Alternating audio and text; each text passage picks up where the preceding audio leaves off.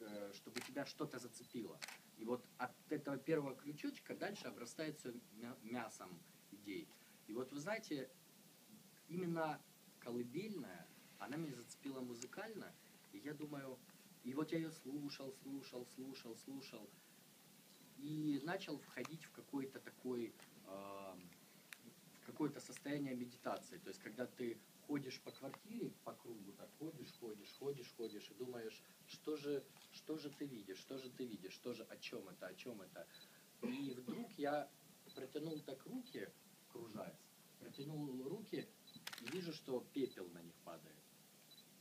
Думаю, почему пепел? Думаю, почему должен падать пепел? Думаю, почему падает пепел? Почему? Потому что я в концлагере. Вот, ну, то есть, я почувствовал, что я в концлагере.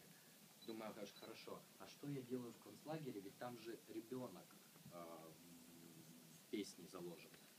А я мать. И я слышу своего ребенка. Я очень хочу оттуда выйти.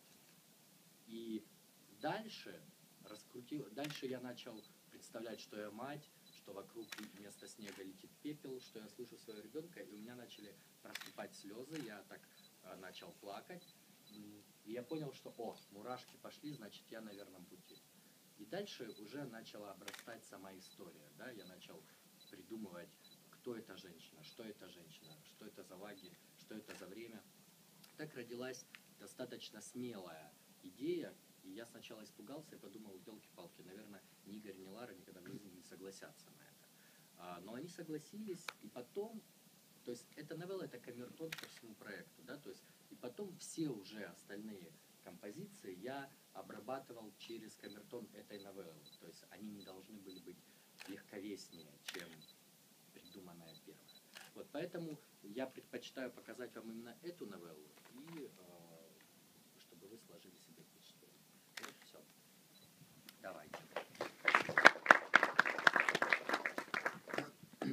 Свет только уберите, пожалуйста.